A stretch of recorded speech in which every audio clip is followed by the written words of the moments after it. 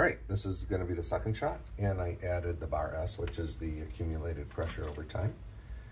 And we'll go ahead and uh, do a little pre-infusion at about two bar, just a little bit of pressure on the lever. Temperature is high. Um, we didn't really cool down the group head before the previous shot, but it'll be fine. So we'll try to pull the shot around seven bar. And you can see that while the pressure is up at seven, the bars per second is going up.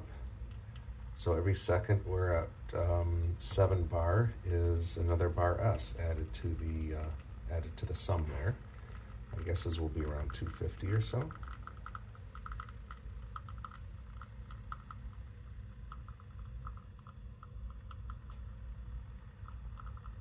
Maybe a little more.